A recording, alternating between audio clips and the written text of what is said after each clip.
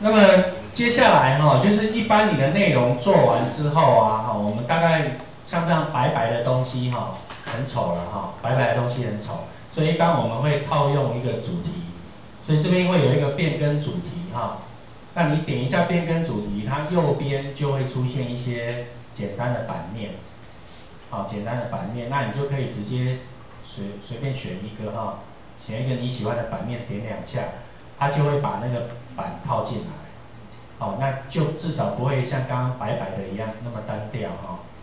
那随时改都是可以的哈，随时改都可以。好，然后呢，你这个问卷假使今天做好了，那你可以查看即时表单，好，这个就会出现你的问卷的真正的样子，好，问卷真正的样子哈。那如果觉得都没问题的，我们今天要把它公告出去呢，也很简单，你就把这个网址复制起来。好，把这个网址复制起来。那复制起来之后，你就可以把它挂在你学校的网站。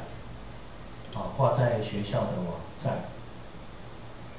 哎，我的学校啊，好像像我就习惯会挂在我这边都是我的，我就找一个按钮把它挂进去，贴进去。好，或者你你就是你的班级网页里面，你也做一个按钮把它贴上去，这样任何人进到里面都可以填。好，都可以填哈。那或者是说，你直接把那个网址传送电子邮件给人家，好，所以你要测试一下哈，就是你直接把网址复制一下，然后人家开一个新的网页，好，他不管用用什么浏览器都没关系呀，只要可以上网的浏览器，好，不管手机、平板都可以，全部都支援哈。那么久，好，用克隆，好。你就把那个网址哈，把它贴上去，好人你给人家，人家会把它贴上去嘛，或者直接有按钮连接是最方便的哈。好，就会直接进到进到你的问卷，就可以开始填。好，那你的问卷里面如果有填好资料的话，好，就是有填了几笔资料之后，你就可以呢，好，就可以在刚刚那个看回复。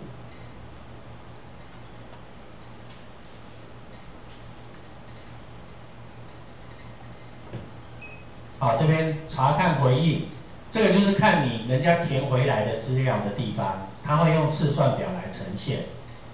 好，那试算表呈现的话，你就可以很方便编辑哈，你要把它做后置处理都没问题。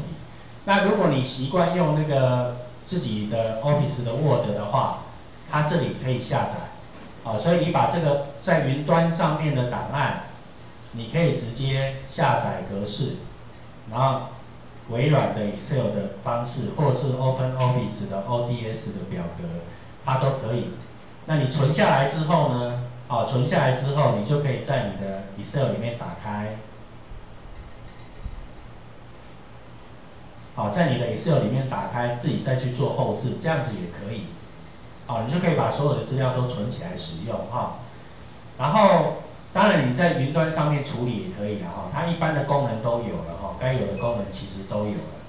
然后最后呢，如果你有很多资料，你要直接好，校长要看统计图表，啊，他不要看这种东西，一堆数字他怎么看，对不对？所以你要做好一点，就要做统计图表，所以你就直接把这个回复摘要，哦，就显示给他看，把它印出来。那因为现在还没有任何人填，所以这个就没有东西。啊，如果有人填，就会像我刚刚显示的，好，刚刚那个问卷显示的样子，好，像这个学基本能力这一个，好，他这有资料之后呢，你去，你去做那个表单的回忆回复内容摘要，好，它就会出现这样的统计表，好，那真正那个长官要看的是这些东西啊。好，这样他可以一目了然说学生程度怎么样啊？哈，什么情况怎么样？然后需要哪里需要做补强，教学哪里要加强，都是看这个。好，你不要最好不要这种表格给他，他会疯的。好，好，各位老师再试一下哈。